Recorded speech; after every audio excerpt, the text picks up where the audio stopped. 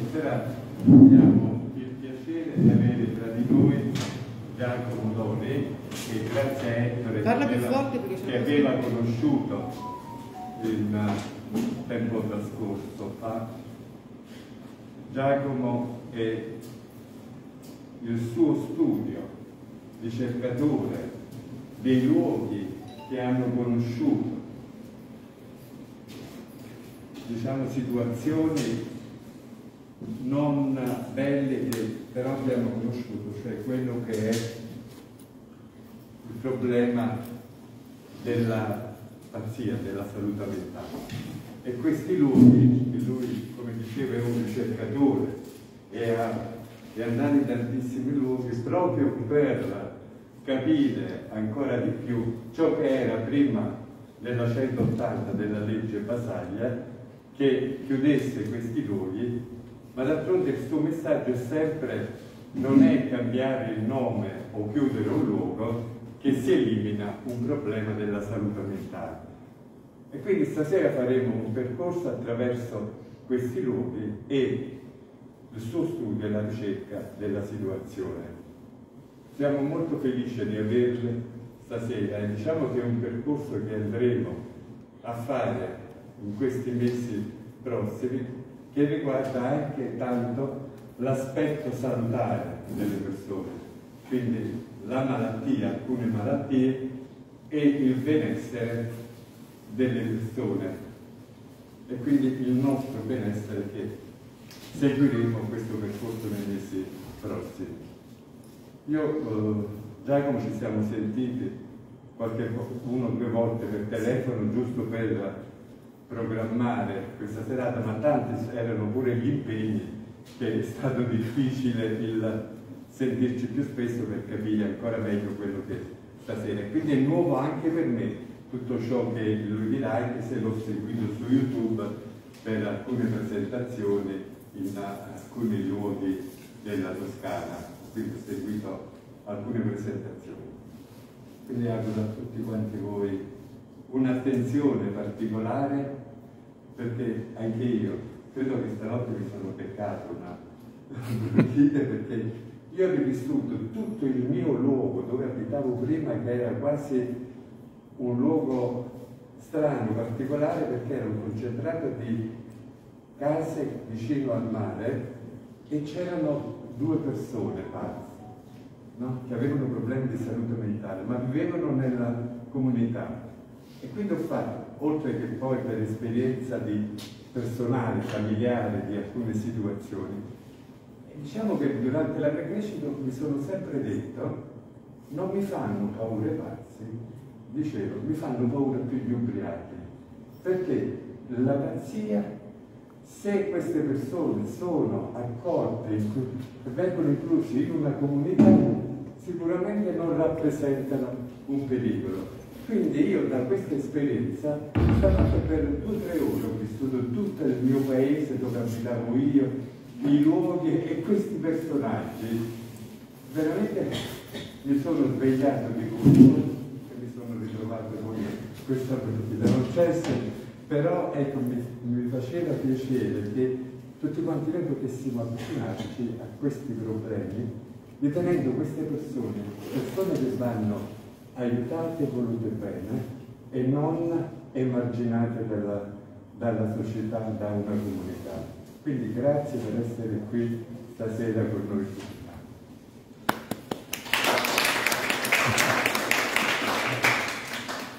Buonasera a tutti, innanzitutto grazie Ettore e Carmine per l'ospitalità in questa meravigliosa cornice, non c'ero mai stato e quindi sono di città bellissima che dovrò rivedere più volte con calma, veramente un posto straordinario e grazie per questa introduzione Carmine su quello che faccio da ormai 16 anni, quindi è, è veramente un tempo anche importante.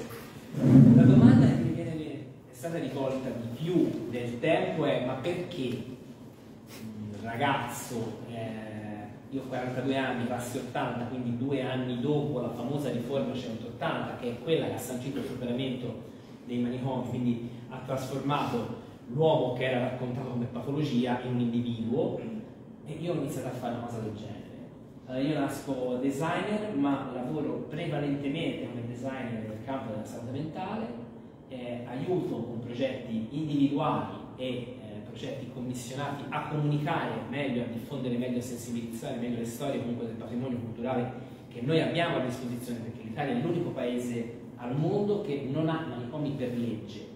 Sono stati chiusi appunto per effetto della legge 180 del 13 maggio del 78. E, però da dove nasce questa cosa? Nasce innanzitutto da uno stigma. Lo stigma è una conseguenza gravosa del pregiudizio.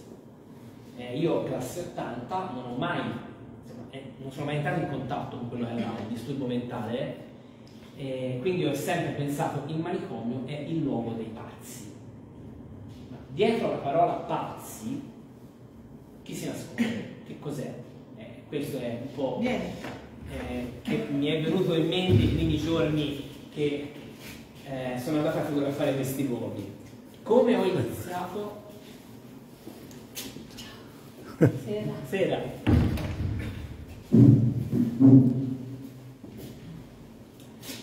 Come ho iniziato a fare questo genere di foto? Allora io studio appunto design in scuola di Tato e eh, come materia c'è fotografia, quindi il mio primo approccio alla fotografia è proprio in ambiente didattico scolare. No?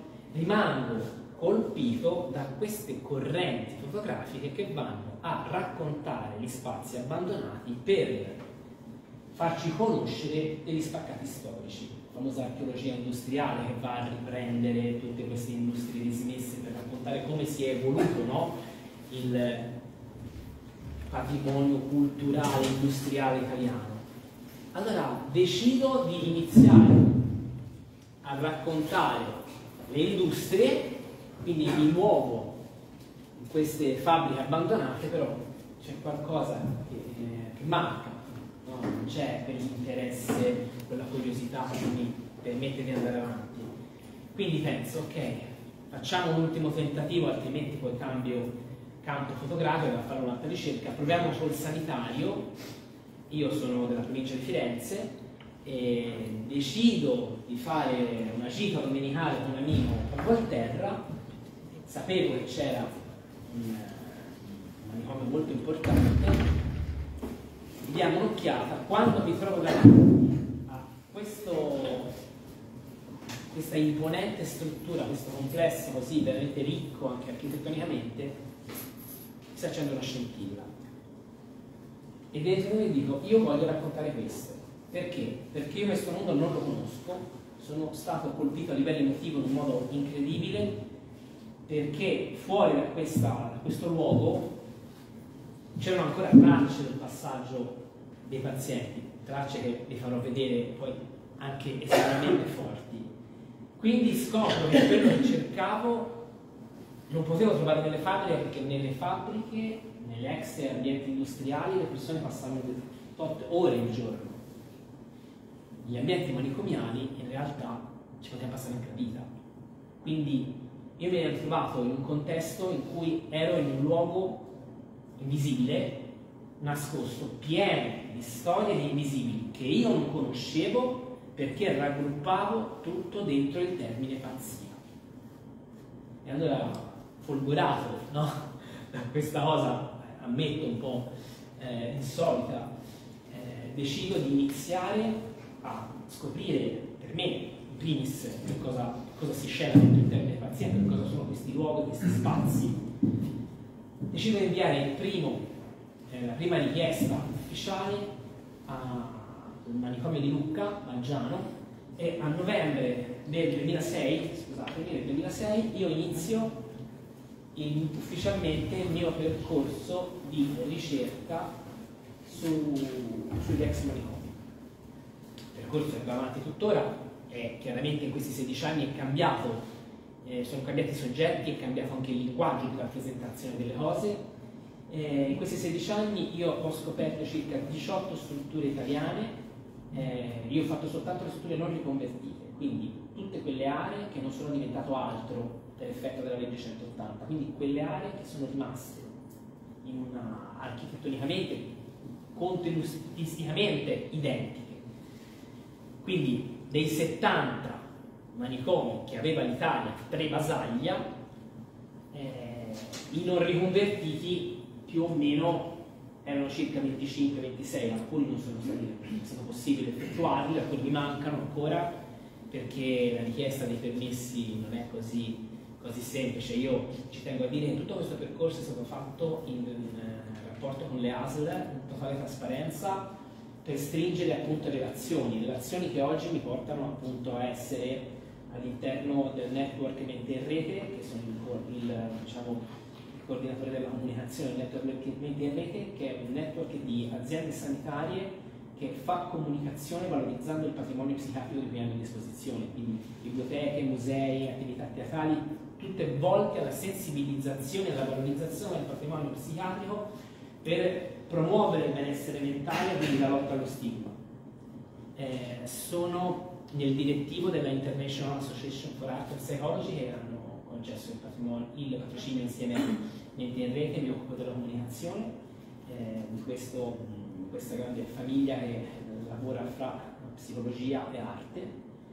E questo perché? Perché in tutti questi anni eh, ho avuto la fortuna di non fare in alcuni luoghi delle fotografie a dei manicomi erano le ultime fotografie che si potevano fare questi luoghi.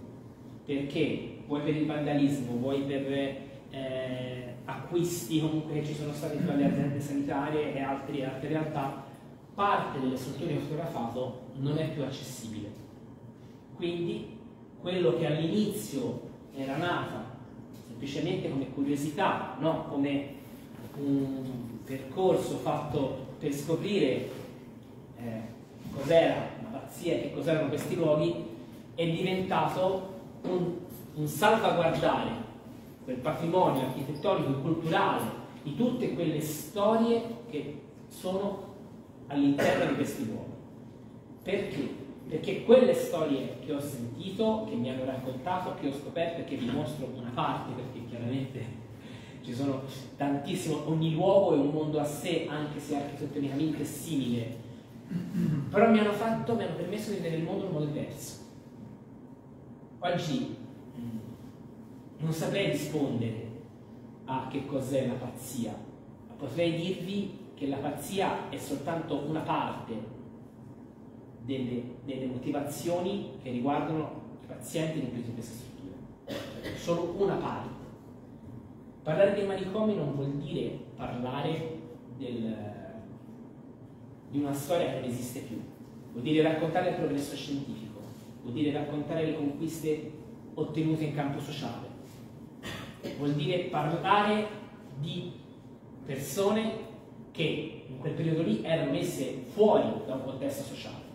Parlare di manicomio è parlare di esclusione, generalmente, anche di conquista, perché la 180 è un qualcosa che ci deve effettivamente rendere orgogliosi con tutte le imperfezioni che comunque può avere, ma è stata una delle, delle conquiste, delle rivoluzioni più importanti a livello culturale che abbiamo avuto noi in questo, in questo paese.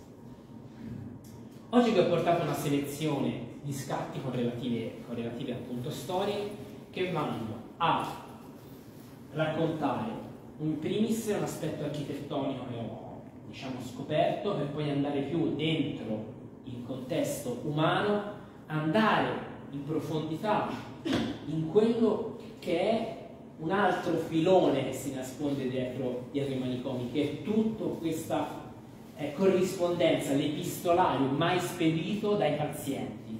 So se eh, lo sapete, però i pazienti, alcuni, quelli alfabetizzati, ovviamente potevano scrivere. La scrittura di lettere è anche uno strumento per vedere un po' come eh, il, il, paziente comunicava, se, cosa scriveva, se era logico o non logico. Il problema è che questo materiale non veniva mai spedito, cioè in molti casi non veniva spedito, veniva messo le cartelline, quindi non c'era un destinatario. Loro scrivevano nella speranza che queste lettere arrivassero ai rispettivi destinatari, ma in realtà venivano messe nelle cartelle cliniche. Queste lettere rappresentano un, uno spaccato importante perché ci danno una forma quelle persone che hanno popolato questi luoghi. Dentro questi luoghi non c'era ovviamente il malato mentale perché ovviamente di patologie possiamo, possiamo, parlare adesso, però non è il mio campo, però quando si parla di persone rinchiuse negli anni 20-30 si parla di dissidenza politica, si parla di omosessualità, si parla di figli legittimi, si parla di tutto quello che la società o un contesto sociale non voleva vedere. Quello è tutto questo patrimonio umano, un atlante umano di invisibili che ha all'interno una chiave di lettura che ci fa vedere il presente in modo diverso. Ecco perché è importante eh, per me la divulgazione di tutto questo patrimonio, perché ci permette di leggere il presente. La memoria, se non ha un impatto sul presente, non è memoria, è storia. Memoria è tutta quella cosa che inizia nel passato ma che continua tutt'oggi a influenzare giorno, i, i, giorni in cui viviamo. Quindi l'ambizione, eh, ormai la, mia, eh, la parte principale della mia vita è dedicata a questo proprio in virtù di una divulgazione e di una sensibilizzazione su un tema che è quanto mai attuale. Noi eh, abbiamo ancora molte difficoltà a parlare del problema, della criticità, no? del disturbo, della debolezza perché viviamo in una società che è iperperformante, che non vuole una persona indietro perché siamo tutti numeri uno. Dopo il problema del Covid, questa criticità è comunque emersa molto violentemente. Quindi ascoltare storie, personaggi, vedere comunque eh, come un tempo queste figure potevano essere umane, ci rende tutto questo molto più vicino a noi e ci dà anche, mi auguro, anche quel coraggio di poter affrontare tutte queste criticità con molta più energia e determinazione. Questo è quello che credo che questi momenti che stanno scomparendo eh, siano portati a comunicarci, ovvero insegnarci come costruire un futuro. Se volete io passo a mostrarvi delle immagini e a raccontarvi un, un po' di storie. Dite si spenge la luce? Sì. Ok. Dove si spenge? Allora, io sto in piedi perché sono, sono basso, se mi metto a sedere scompaio dal monitor, quindi... Allora, 2007, un giovanissimo Giacomo Doni arriva in terra Ligure, a Cogoleto. Eh, Cogoleto è il manicomio più esteso d'Italia, con più di un milione di metri quadri di superficie.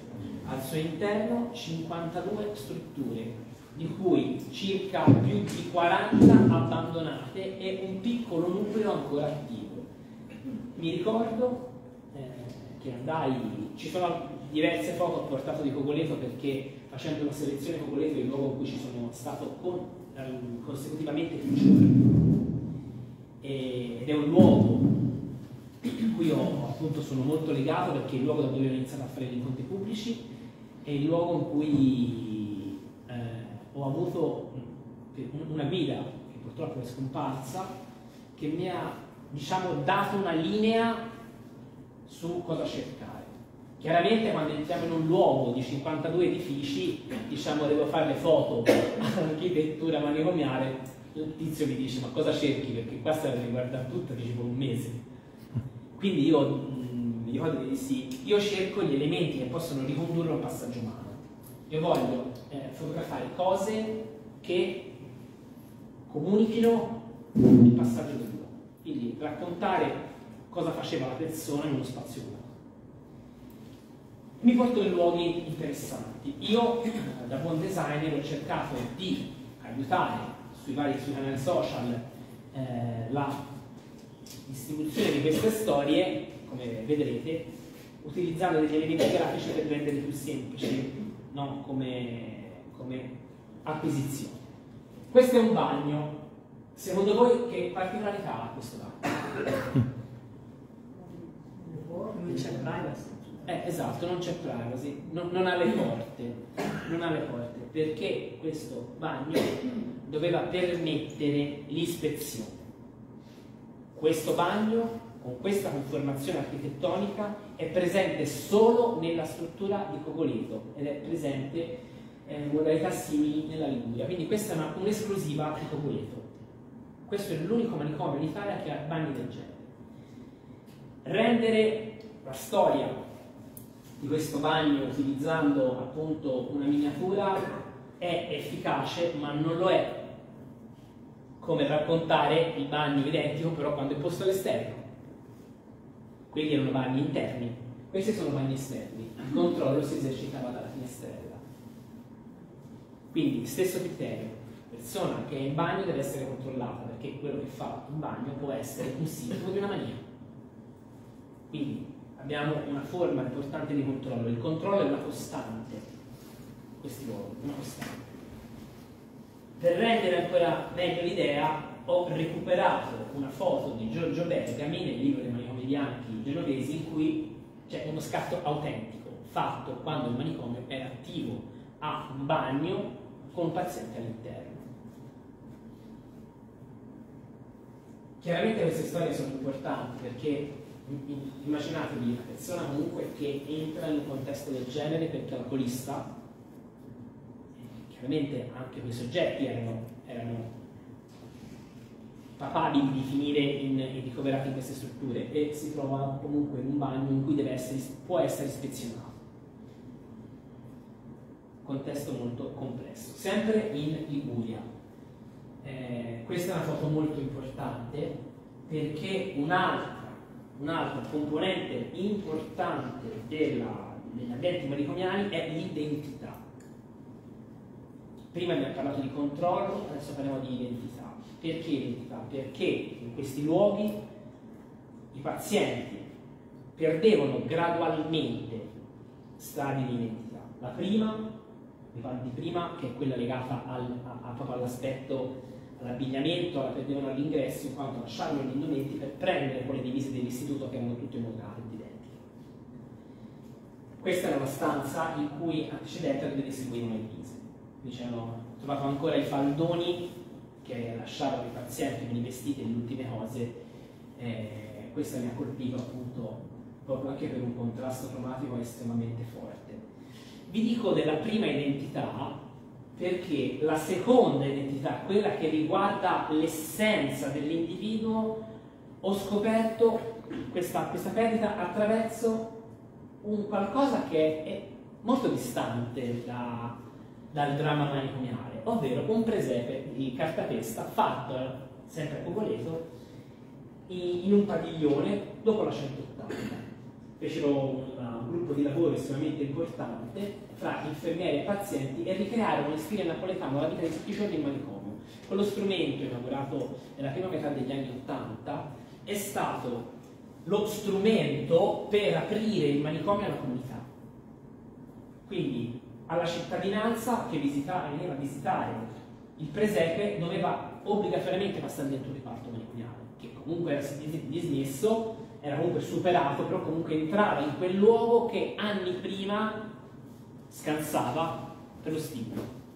Perché vi dico la seconda identità? Perché io ho scattato foto per esempio nel 2007 e le ho perse tutte, perché non, ne, non sapevo della, della, sua esistenza, io vado, mi portano in questo sotterraneo che è buio, io provo a star fermo senza cavalletto e questo è l'unico scatto e si è eh, 2007, nel 2015, otto anni dopo, in, in un incontro pubblico appunto in, in, Liguria, una persona del pubblico mi dice che aveva scattato le foto l'anno dopo che avevo fatte io e che eh, sarebbe stata ben lieta di passarmene per creare una, appunto, una pubblicazione che portasse al recupero del, del presente. Quindi lei mi ha fornito queste foto, ho fatto una narrazione eh, nuova su quello che era appunto questo questo interessante patrimonio storico e in questa, in questa foto qua scopro qual era il secondo, secondo stadio di identità che si perdeva nel manicomio. Perché se nel primo perdevo l'identità del mio abbigliamento, quindi ero conforme a tutte le altre persone all'interno delle strutture, questa è la ricostruzione del plastico del cimitero dove è diviso fra pazienti dell'esterno del manicomio, pazienti civili e, e scusatemi, defunti civili e defunti pazienti, notiamo una differenza fondamentale, che è la lapide. Loro hanno ricostruito questo, di costruirlo. Quindi la parte di sinistra, con nome, cognome, è la parte dedicata ai defunti civili, la parte di destra ai defunti del manicomio. Molti di questi perdevano addirittura l'identità quando appunto morivano. Questo presepe è un'opera collettiva unica eh, in Italia. Ovviamente, eh, purtroppo, ovviamente, purtroppo non è stato possibile operarlo, però eh, siamo stati contenti perché attraverso questo lavoro abbiamo fatto di sensibilizzazione su questo presepe, nell'altro manicomio Ligure, quello di Genova IV, è stato ricostruito. Quindi in un certo senso ha trovato una vita nuova per raccontare una modalità diversa quello che era. Quindi utilizzare l'attività come strumento per avvicinare le persone agli ultimi. Questo era un interessante concetto. Ed è stata un'esperienza bellissima, no? lavorare sulla narrazione del presente, perché mi ricordo, vi racconto un aneddoto interessante, io mi sono sentito telefonicamente con il coordinatore, no? che purtroppo è defunto. Fare questo lavoro è molto brutto da un lato perché ti porta a relazionarti con persone che vivendo quegli ambienti lì sono già anziani. Quindi ti fa veramente sentire sulle spalle un peso del tempo inesorabile, quindi cancella la memoria orale, quello che comunque ha vissuto e ti può raccontare, eh, una volta è deceduto quel racconto si perde. E lui mi raccontava un aneddoto fantastico, in cui questo, questo per esempio appunto ha avuto una genesi molto complessa perché c'è stato questo gruppo di lavoro con i pazienti ricreando le scene di vita di tutti i giorni, hanno rivissuto il dramma della reclusione, quindi hanno abbandonato in massa la lavorazione e sono riusciti a portarlo a termine grazie all'aiuto di un artista che era appunto lavorava in manicomio Bruno Calati e sono riusciti a portare a conclusione quest'opera. Tommaso Molinari, in quel periodo mi raccontava una cosa moltissima, che lui gli hanno, eh, hanno sempre bocciato tutte le sue proposte, no? perché questo presepe veniva fatto collettivamente, quindi uno aveva una proposta su una scena da fare e doveva essere votata all'unanimità. Tommaso Molinari, convintissimo, ha l'idea del secolo e dice al gruppo di lavoro perché non vestiamo Giuseppe e Maria con gli abiti dei, pazienti? Fantastico, no? È un paziente dice no, perché loro non erano pazzi. Questo ci restituisce comunque un peso anche del rispetto un peso della, de, della, lettura che queste persone davano comunque anche al contesto religioso e al contesto anche sociale no? del manicomio. Era molto, molto buffo il racconto di Tommaso su questa sua grande ragazza. Usciamo dalla Liguria, andiamo in un'altra architettura unica e andiamo in Toscana, Siena. Questo è il padiglione Connolly l'unico panottico in chiave sanitaria. Che cos'è un panottico?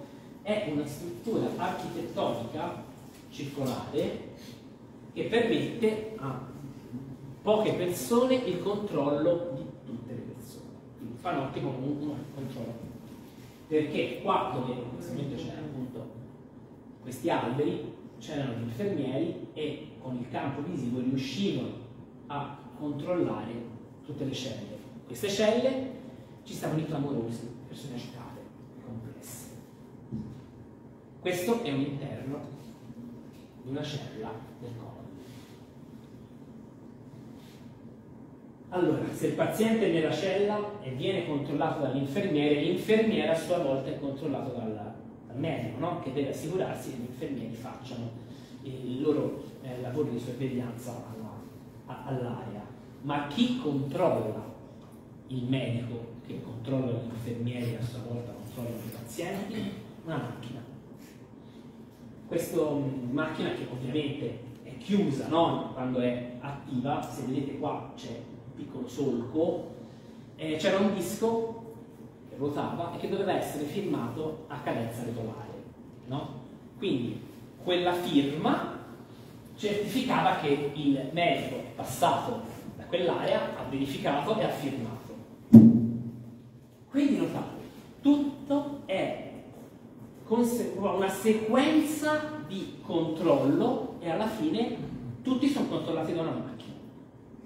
Questo non è molto distante dai tempi del presente, in cui eh, gli algoritmi incidono nella, nella nostra vita digitale.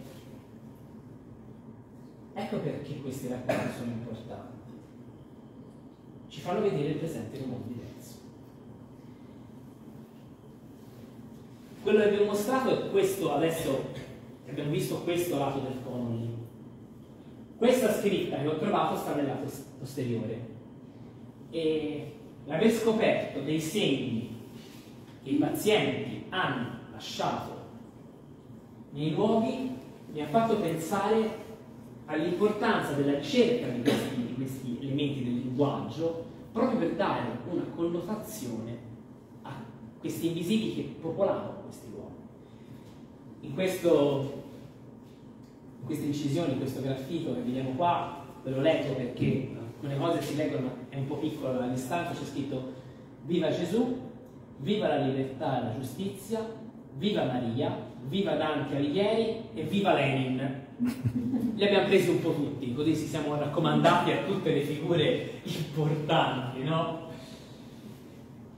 Questo ci restituisce appunto un'identità, un qualcosa. E su questa identità poi io ho cercato di approfondire andando, oltre a raccontare i luoghi, a raccontare quello che rimane del passaggio umano in termini di linguaggio. Questo, che vedete, è Volterra, che apparentemente possono sembrare degli scarabocchi, in realtà è riconosciuta come un'opera d'arte, un'opera di arte brutta fra le più importanti d'Europa. È lo conoscete? Io sì.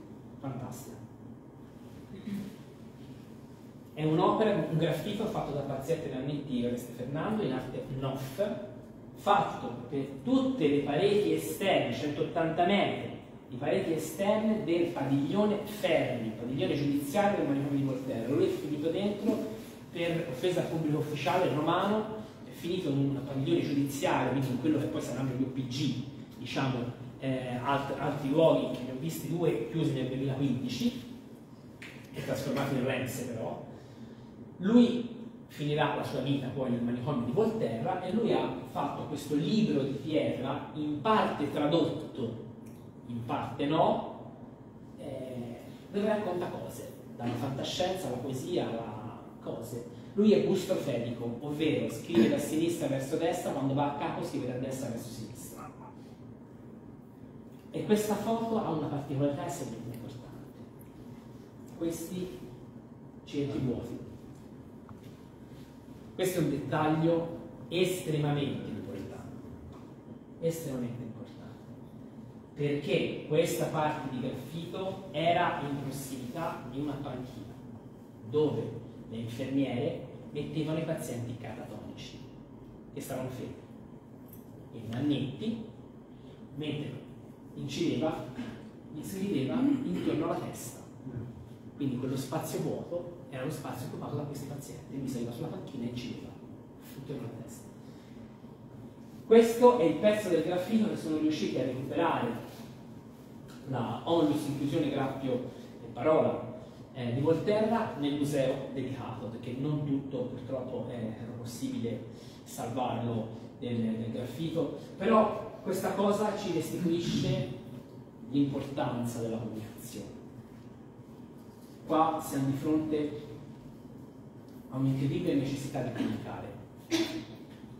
Lui è diventato questo artista importante, Noff, perché un medico ha intuito che dietro quella comunicazione ci poteva essere qualcosa. Altrimenti chi avrebbe permesso a un paziente di incidere con la figlia del panciotto su un muro?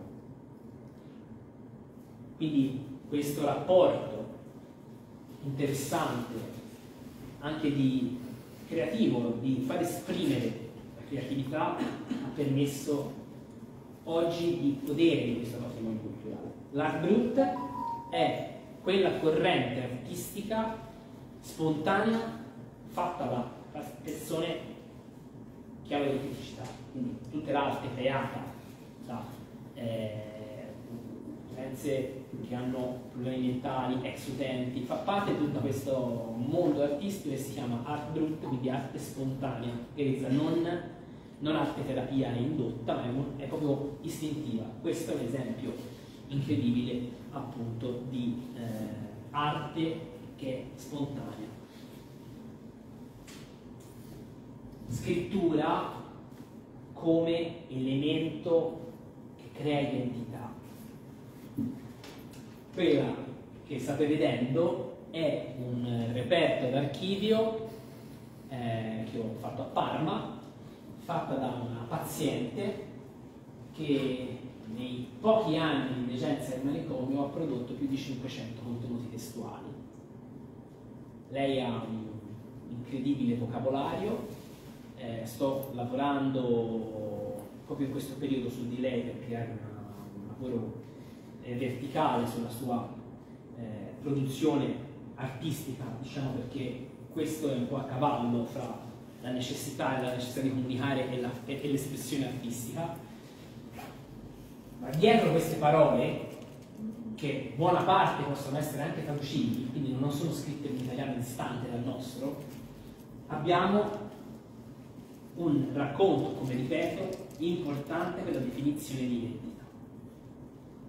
Vi ho portato, eh, queste appunto sono le lettere dei pazienti, vi ho portato una selezione di lettere di Annalisa, la paziente eh, che è deceduta negli anni 70 nel manicomio di Colorno, lei ha scritto soltanto quattro lettere dal 38 al 41, eh, io ho, in parte le ho portato degli estratti, eh, questa una lettera del 38 che si rivolgeva a casa giustificandosi del fatto che non scrive con continuità dicendo benché ero ammalata potevo scrivermi ma il tempo non è che mi mancava è che ero effettiva allora se lui diceva la lettera io avevo una gran paura che si ammalasse anche lui. Quindi eh, lei pensava eh, di, di, poter passare le malattie mandando le lettere era una cosa molto, molto interessante eh, nella, nell'interpretazione poi della persona nel 39 invece esprime le difficoltà di vita in manicomio.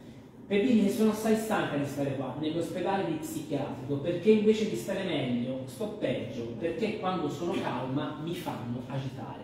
Notate la calligrafia che comunque è leggibile, ha un po' di difficoltà, ma per le persone comunque alfabetizzate. All'epoca calligrafia era una materia scolastica, quindi non c'era chi scriveva male. Se sapevi scrivere era comprensibile. Questo è un passaggio eh, che io amo. L'inferno è rosso, il manicomio è giallo, come Francia e Parigi. Quindi, notate la sottigliezza della cronia, no? L'inferno è rosso, il manicomio è giallo. Il giallo è una componente cromatica del rosso, sta dentro il rosso il giallo. Come Parigi sta dentro il perimetro della Francia. Questa è una sintesi fantastica di come il manicomio sia dentro l'inferno, esattamente come Parigi sta dentro la Francia. Detta in pochissime parole, fantastica. Qui, come potete notare, la calligrafia è diversa, siamo nel 41, Ah, questa è l'ultima lettera che ha scritto, quindi non si rivolge più a casa, è l'oggetto dell'amore, è il direttore, quindi chiede di appunto sposare il direttore, questo è interessante perché sembra che l'amore sia il contenuto, lo strumento per galleggiare, per rimanere in piedi, per avere uno scopo anche, perché le lettere di Annalisa sono lettere eh, che scrive a una figura amata, che appunto non posso ricostruire, non ho gli strumenti per ricostruire chi fosse, L'ultima, vedendo non, probabilmente non ricambiato l'amore, eh, sposta l'attenzione sul direttore e scrive il primo febbraio del 41 io sono già stanca di stare nel manicomio, però si mette tranquilla, si rivolge alla sorella, perché ho intenzione di sposare il direttore del manicomio, però non sono sicura di questo, se lui mi vorrà. Io aspetto, se mi tira fuori lo sposo, altrimenti rimango qui fino della vita, morirò per lui, basta. Annalisa purtroppo morirà veramente nel manicomio di Rodorno negli anni 70. Per darvi un'idea di come è mutata la calligrafia dal 38 al 41, vi ho messo a fianco due delle sue lettere. cambia completamente il senso dello spazio, cambia completamente la modalità bulimica, quasi di scrittura, cerca di pienare tutti gli spazi a disposizione, come quel, se quel foglio fosse l'unico elemento, ma in realtà era l'unico elemento che lei aveva per comunicare con l'esterno. Una cosa meravigliosa hanno fatto i social. Perché io un giorno cercando il nome su Facebook della paziente ho trovato un gruppo, sai quegli sei di color rosé, dove c'erano delle infermiere anziane che ne parlavano. E quindi io ho avuto il piacere di conoscere delle infermiere che avevano conosciuto lei di persona. Lei essendo morta negli anni 70, eh, alcune infermiere giovani hanno avuto modo di poterla conoscere. E mi raccontavo di una persona estremamente ingenua con un accento un po' inglese che aveva dei parenti che venivano dall'Inghilterra che sembrava un po' olio, di staglio. Quindi quando gli spedivano la cioccolata la divideva con le infermiere, fondamentalmente un animo leggero. Mi scusi, che età aveva questa Annalisa quando è entrata e poi quando è deceduta? Allora, allora, per me è molto difficile eh, avere queste informazioni in quanto non essendo morta da più di 70 anni è coperta dalla privacy quindi io non ho modo di, di, saperlo. Più o meno le posso dire dalle foto comunque eh, le infermiere erano delle ragazze intorno ai 28, 25, 28 e lei quegli anni della foto era già sui 60, 65, quindi all'epoca probabilmente del testo poteva avere intorno ai 40, 35, 40. E fa conto che è morta negli anni 70 e dovrebbe essere morta da circa 70 anni, quindi nel 40 dovrebbe avere intorno, tenendo un po' sulla quarantina, più o meno, eh, perché purtroppo non, ho, non, non, posso accedere direttamente a queste informazioni. Io ho fatto la, la digitalizzazione, quindi non ho accesso alla cartellanina come un'unità grafica di, di analisa, analisi non è tutto finito, perché per divulgare eh, tutto quello che riguarda i dati sensibili queste persone devono essere passate 70 anni dal decesso. 70 anni dal decesso anche dei terzi, che lei in questa lettera per dire parla con la sorella, se la sorella fosse morta da 65 anni non posso divulgarlo in quanto all'interno del documento c'è un terzo e la quindi non è, non è, più o meno intorno 30, in quell'arco 30-40 lei è comunque era anziana quando, quando, anziana dopo vivendo in manicomio può essere anche 60, 50 eh, però più o meno eh, se mi ricordo un po', non, non sapevo neanche l'infermiere della età precisa perché quando loro sono entrate lei dopo deceduta, era all'inizio della vita giovane. Niente. Raccontare appunto il, il manicomio è eh, anche un, raccontare via traverse. In questi ultimi scatti che ho preparato vi voglio raccontare il presente. Lo so, questa non è una foto del presente, ma è una foto che ci insegna non solo a guardare il presente in modo diverso, ma anche contiene una storia che è veramente attuale. La foto in questione non l'ho scattata io, l'ha fatta mm, Vincenzo Ragozzini negli anni 20 nel manicomio di Mombello in Lombardia. Immagine fantastica di pazienti che lavorano.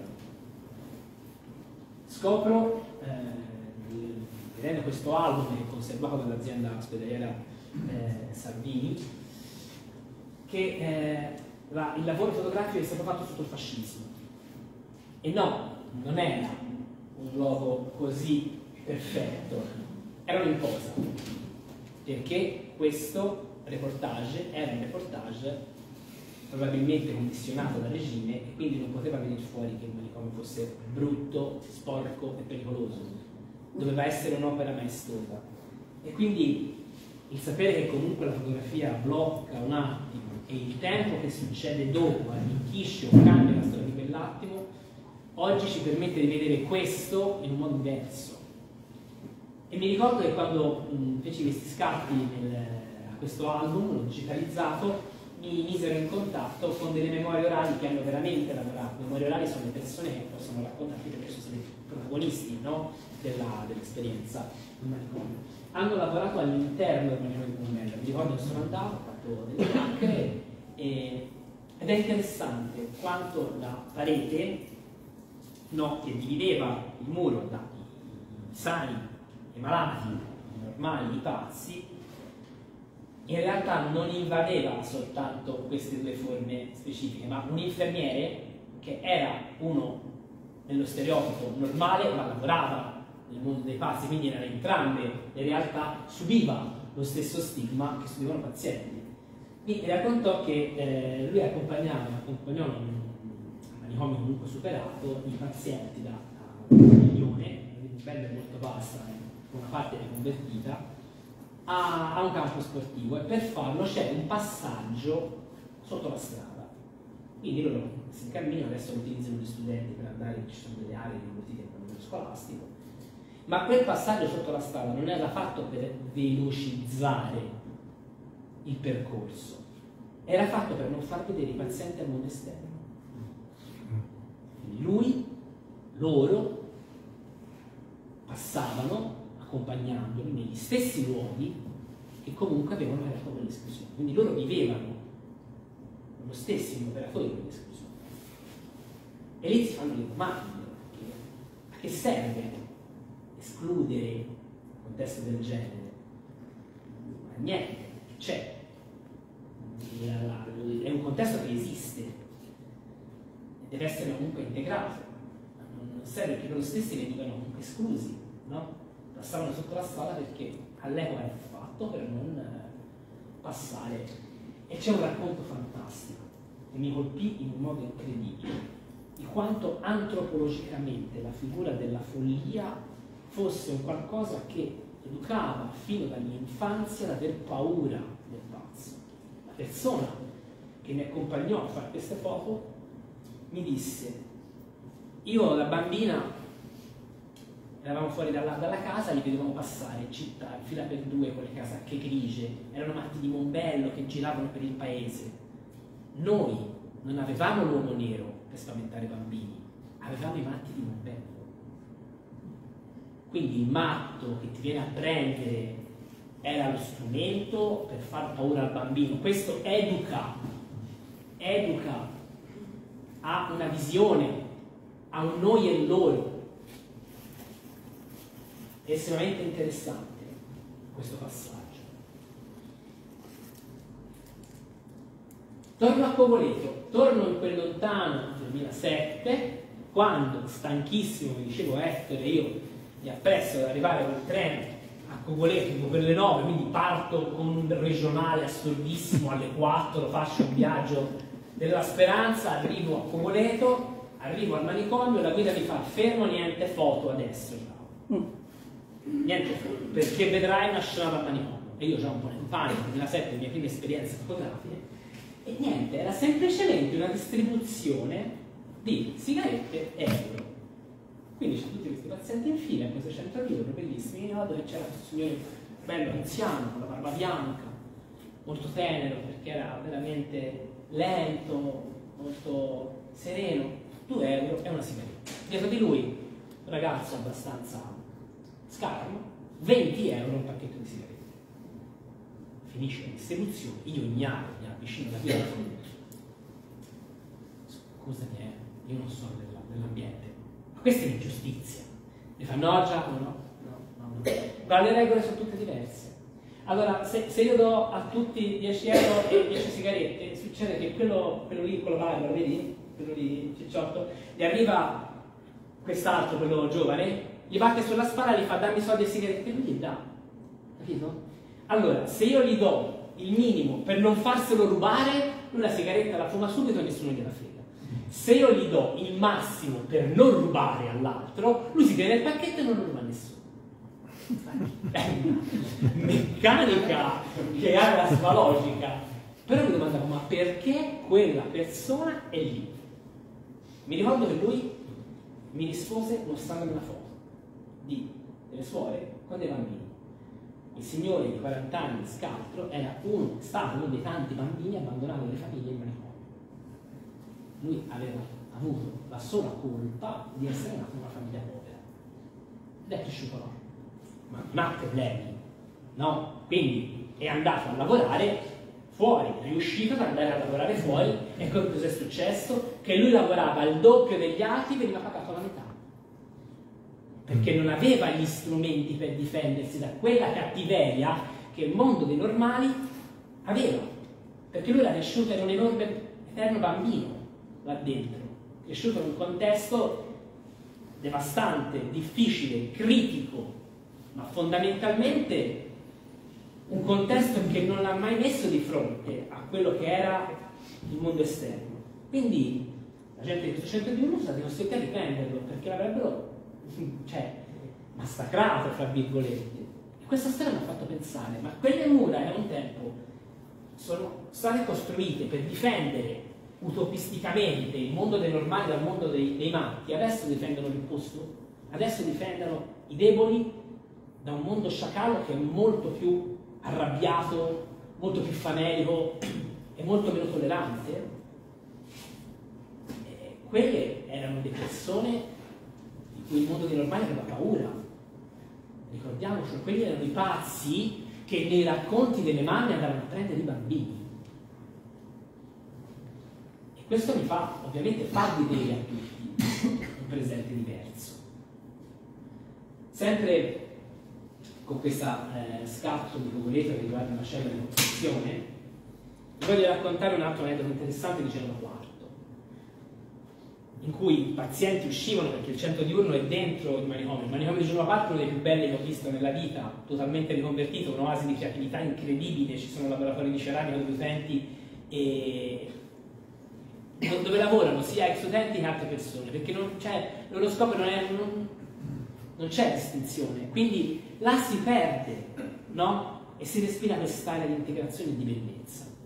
Là c'è un centro diurno che purtroppo durante il periodo del Covid, del lockdown, chiuse, ovviamente erano tutti chiusi, però qual era stata la, la criticità? Che le persone che erano dentro quel manicomio, dentro il centro di quel manicomio, erano persone che erano state rinchiuse nel manicomio quando era attivo.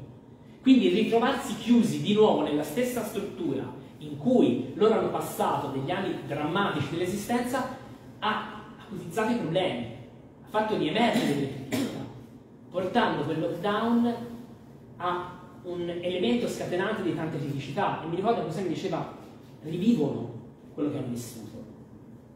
Quindi quanto quella realtà lì impatta, impatterà sempre la testa delle persone. È indelebile. Indelebile.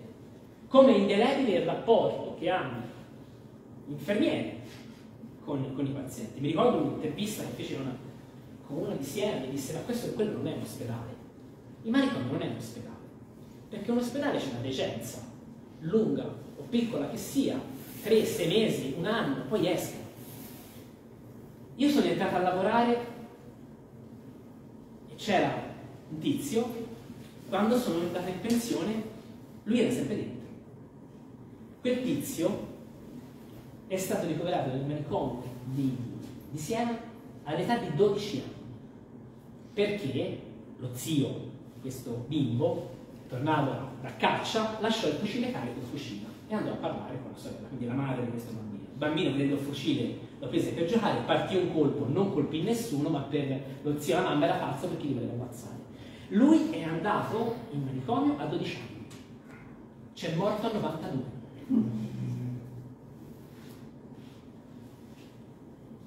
E lei giustamente diceva, cioè, questo è questo pesce, non puoi non avere rapporti. Questo ti dà un'ottica quello che è il contesto manicomiale. Concludo con questo scatto che è il manicomio di Voghera, il manicomio che ho visitato di più nel corso del mio, del mio percorso, ho visto cinque volte questa struttura, qui doveva eh, sorgere un museo, purtroppo non siamo riusciti, e scopro la storia di Luigino e Mario. Perché vi ho fatto vedere una stanza delle feste? Beh, ovviamente abbandonata, ma nella stanza delle feste, quando eh, nacquero le parti promiscue, ovvero gli spazi in cui maschi e femmine si trovavano insieme, Luigino e Mario, due pazienti che si innamorarono. La, la loro storia fu incredibile perché si sono messi insieme, fidanzati, affrontando tutto lo stigma, si sono addirittura sposati e, e mi ha raccontato la guida, loro erano muffi, eh?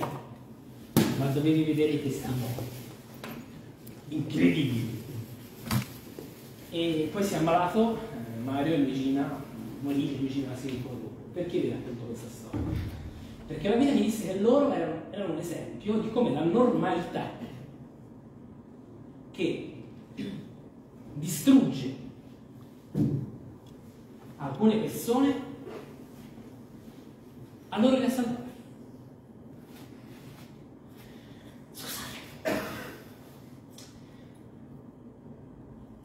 È molto forte raccontare questa storia.